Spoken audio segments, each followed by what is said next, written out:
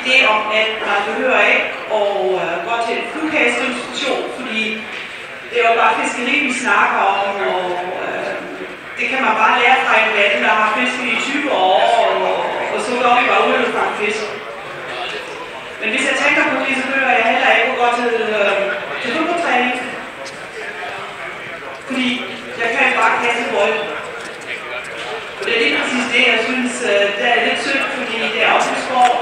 Også øh, når mange, der synes, jeg, der er fanget fisk, men vi bevæger, bevæger os, og øh, hvordan kan vi blive bedre til at bevæge os i det der område, vi fisker i.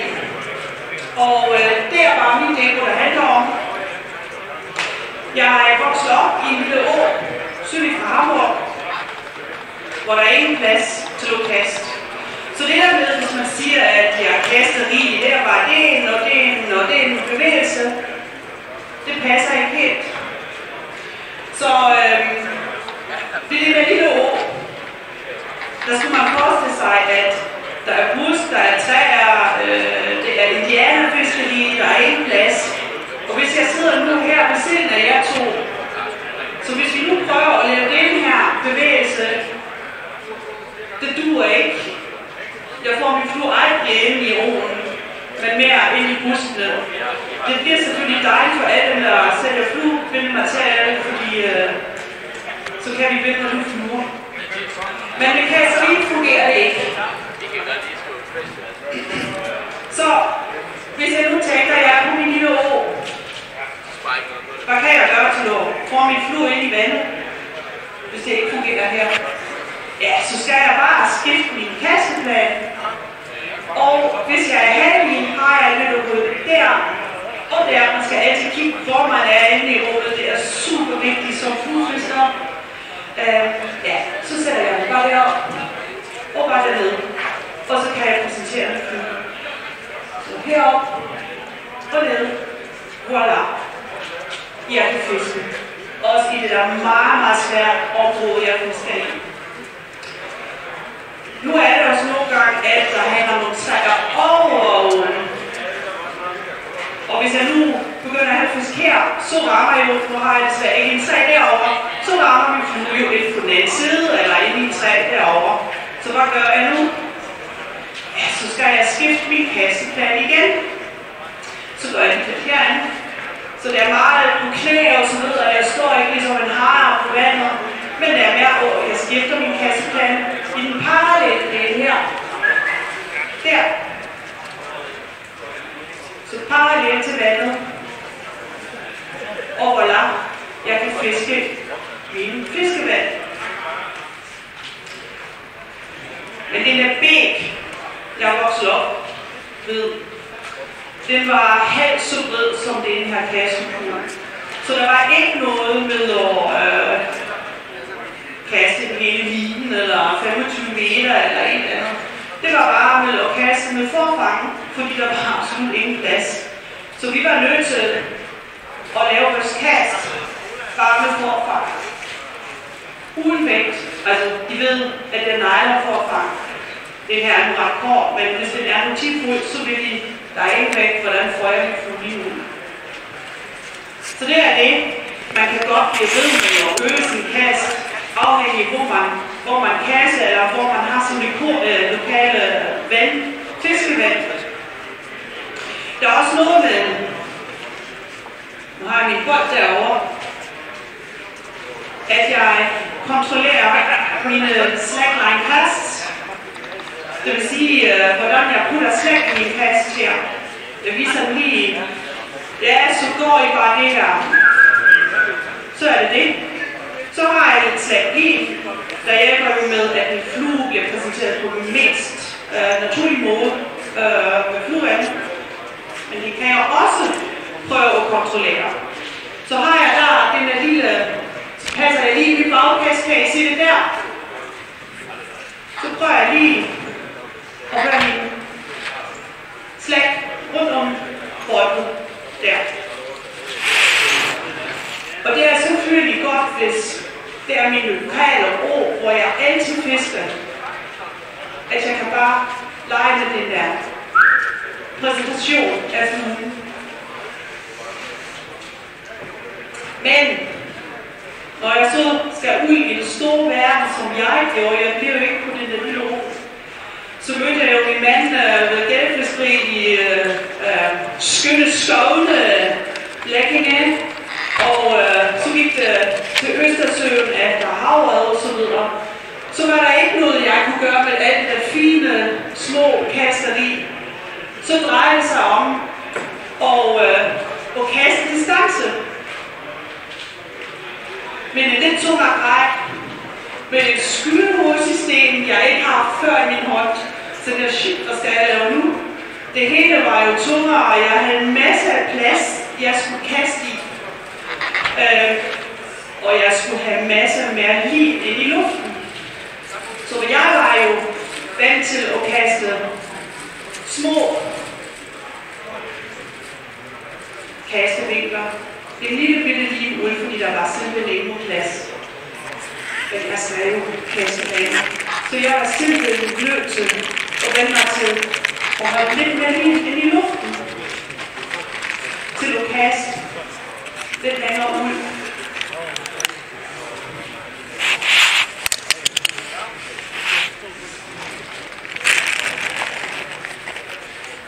Så hvad gjorde jeg lige der? En af de vigtigste ting som fluefisker er, at jeg ved, hvordan jeg laver mine kassevinkler, holdt min lige lige ud. Så jeg præsenterer den lige, lige foran. Så jeg starter med en lille lille bitte line her, som jeg gjorde i øh, lille lille ro. Men nu skal jeg give lidt, øh, give lidt min kast. Jeg forstørrer min kastevilje. Mine pauser bliver lidt længere. og afleverer. Det var det, jeg skulle pludselig kunne til at fange en havred. Min, øh, min længste kast dengang var måske højst 10 meter. Så det er ikke særlig langt. Så jeg skulle lige være mig til at kaste i hvert fald 20 meter.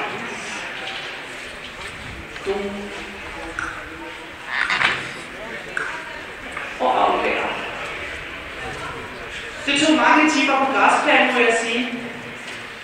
Øhm, men nu, øh, når jeg går ud ved kysten, så ser jeg ret mange gange, at der står, øh, selvfølgelig kigger jeg også på nogle andre fluefiskere, øh, men det siger ikke noget. Så kigger jeg, og jeg ser det her. De kaster vanvittigt med masser af power. Øh, de kaster stadigvæk, fordi de vil jo få ordentlig hastighed i kast, kaster selv på, så afleverer de bare en flue. Bums. Og det gør de igen og igen. De kommer hjem om aftenen, er fuldstændig smadret. Deres arme, blev ryg, deres håndled på jorden. Kan ikke mere. Fordi de har jo været gamle fisk, og det er så hårde fisk. Men så kan jeg jo gå ud og man kan gøre os meget, meget lettere med mindre power og kaste ud. Og jeg behøver heller ikke at have så mange blindpas og at vi flue så langt i luften, fordi jeg vil fiske, jeg vil ikke kaste mig til døden. Så jeg laver bare en bagkast og afleverer og fisker. Og så har jeg min flue lidt længere i vandet end på den måde. Så det er en af de ting. Mindre power, mindre kraft i kastet. Det er faktisk en af de mest fejl, jeg ser øh, ved kystfiskeren her. Og hold ikke lige så langt i luften, som jeg gør. Vend ikke på den super bedste afleveringskast, og så afleverer bare. I skal bare lave en eller to bagkast, stille og roligt, og fisk jeres flue i vandet ind og levere. Så. Men nu øh, stopper jeg jo ikke der. Jeg var til en øh, fluefiskmasse i, øh,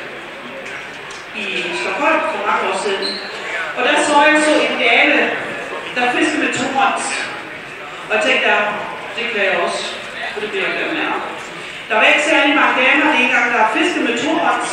Øh, men hun inspirerede mig fuldstændig. Det er Glenda Powell fra Erland. Hun er stadigvæk en super dygtig kasser og en super dygtig fisker. Så øh, jeg tog op i det og begyndte med min toholdsrejse. Så fandt jeg også min første laks, og jeg var fuldstændig tabt. Øh, jeg er en opige, om det er laks eller øret, det, det er bare. Men det der med laks, det er bare fantastisk. Så, øh, så jeg fisker i Skotland, jeg fisker i Irland, jeg fisker også her i Skjern, som er jo meget specielt øh, laksevand, vi har her. Og øh, når jeg kigger på alle de forskellige fiskevand, jeg fisker i, om det er enhånds, tohånds, så skal jeg altid tilpasse mig området fiskevand. Jeg kan ikke altid gøre det samme, jeg har gjort altid. Det er det vil være alsidig, a versatile fly fisher. Kig hvor I er, hvad kan I bruge, benytte, og så er det selvfølgelig her, det sker ret, øh, ret konkret, også måske øh, bruge også øh, tackling til at brigade med at øh, ja, fange fisk eller bruge vand på en måde. Så her har jeg nu en, en setup her til, til sker. Øh, det er en kort stak, 12, 12 og så har jeg en sketchehoved på. Det er, vil jeg sige, et classic sketchehoved. Lidt længere, end jeg plejer at bruge her på skærmen. Øhm, det kan godt finde klassisk nu. Øh, fordi min, min er omkring 5 meter, jeg, jeg, jeg passer her, eller fisker her. Men jeg har tilpasset min grej til, til skærm. Bare fordi øh, det, det øverste del af skærmen er ret lille. Jeg behøver ikke at lave distancekast, øhm, ned i vandet fra sketchen og, og bruger den her korte klub til at fiske vandet af. Og så tilpasser jeg mig selvfølgelig også nogle kast, fordi jeg har ikke særlig meget plads i min bagkast. Jeg kan stadigvæk lave den der klassiske single eller underhånd, som jeg kalder det også. For mig er det det samme. Øhm, det er de samme basics, hvor jeg løfter min stang her, jeg sætter min anker her ved siden af mig, og så kaster jeg den ud. Den single span, som er jo ret brugt i, i hele verden. Anker og ud. Øhm, men nogle gange bliver det svært, øh, hvis jeg, fordi der er masser af græs, specielt sent om sommeren og efteråret og så videre. Så jeg kan bruge et ankast, som gør mig øh, som gør det lidt lettere for mig at, at rette min kast. Og det er der, hvor øh, Snap Team kommer ind. Øh, der har man lidt mere tid til at tænke, og måske lige at drikke en kop kaffe, eller hvad det er, fordi det har en time mere, hvor jeg bare løfter min stang herop, så laver jeg en lille snap her, eller å. Så går jeg ind i min bagkast, har igen min del, og så kaster jeg frem igen. Det er så et snap jeg laver op, over, delu og upsi. Det var grunden. Gør det igen. Og jeg kigger i min bagkast der, meget bedre der. Og mm. tak. Så det er snap O. Den bruger jeg meget. Nu her har jeg så en lille sekvens i skærm, hvor jeg, øh, specielt når jeg står højt op ved robredden, øhm, hvor jeg faktisk ikke vil komme bag ved mig overhovedet, fordi der er græs, men jeg står altså de der halvanden til to meter højere. Så jeg vil faktisk ikke lave alle de her spagkast og, og røde rundt her. Øhm, jeg putter faktisk min bagkast op i en øh, overhovedkast. Og den her sekvens, den har jeg fundet, den er bare super praktisk, hvor jeg henter snap her ved siden af mig. Nu har jeg selvfølgelig lidt strøm der. Og nu skal jeg ikke sætte min del ud bagved mig her, fordi så har jeg jo kanten igen. Men i stedet for, beholder jeg min anker, der hvor min flue lander på vandet, beholder jeg derud. Så det ser sådan ud. så beholder jeg den derude. Det føles lidt dumt, og herfra at kaste øh, er også lidt dumt, og plus jeg kaster ikke ind i lige, jeg kommer til at kaste i en curve tracking her. Det vil jeg faktisk undgå. Så hvad jeg gør er, kaster her, der, så går jeg herude, og så dykker jeg bare min stangspidse lidt i vandet. Uden kraft. Og det kaster det ud, jeg dykker bare stangspidsen ind i vandet. Og det gør, at min flue reagerer bare på den lille øh, bevægelse. Så retter jeg op igen, og så får jeg faktisk min del lidt tættere på mig igen. Og lidt i lige lige, hvor jeg vil gerne præsentere mig til 180 grader til, øh, til fisk, eller hvor jeg vil aflevere min flue.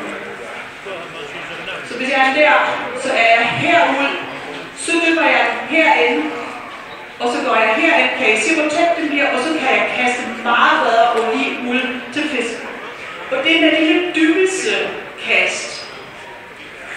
Så den her. Men den der, det er typisk sketchkast, den kalder vi perivoke. Jeg elsker det her, fordi vi kan rette alt. Du kan lave en shitcast, crapcast, du kan bare rette dig med det her, og du kommer lige ud til fisken. Super, super god. Så det er en perivoke. Så der leverer ud med stangspidsen der, så du er fri fra gryden. Ned, der. Op igen i delen, og, og ud med kassen. Men nu sagde jeg jo, at jeg vil gerne væk fra vandet, og jeg vil, jeg vil faktisk lave en overhead cast. Hvis jeg nu står halvanden meter højere op, det sker, plus jeg har måske en elektron, der også her, så jeg skal bare op med min flue, fordi det jeg gør med alle jeg kastet i, er jo bare med at få min flue og lige ud af vandet, væk fra vandet, så jeg kan få det bedre og lettere at kaste. Så her, op, over, så går jeg herind, så jeg lige tjekke der, og herfra går jeg bare ind og ud. Det er det, hvad jeg gør. Okay. Der. Over. Dip. Og så går jeg op, op og ud. Og så frier jeg faktisk min flue væk fra vandet. Øh, væk fra alt det her krydderi, vi har øh, fra juli måned af. Op højbakast og ned til vandet. Det er så min, øh, min go-to-kasse, spe, øh, specielt ned i den nederste del øh, af skjern. Ja, så øh, slut med snak. Det vigtigste for mig er, at jeg kan faktisk undervise eller danne nogle tænkende fluefiskere, at det bliver alsidigt. Selvfølgelig, hvis man bare bliver sin ord, så bliver man ikke til ord. Men hvis man vil rejse verden rundt øh, og fiske mange forskellige steder i verden, om det er enhånds eller tohånds, så, øh, så gør det mening, hvis man lige kan tilpasse sig der og lære på fluekasse. Og det gør man også på græsplan, det kan man også gøre på vandet. Men øh, det bliver en fornøjelse, hvis man så nu pludselig er et andet sted i verden, hvor man har ingen problemer. Man behøver ikke at tænke over, hvad du gør, fordi man kan bare gøre det uden problemer. Så derfor kan I lære noget, skal I bare komme på mig. Jeg kommer også over til Jylland. uh, tak for i dag.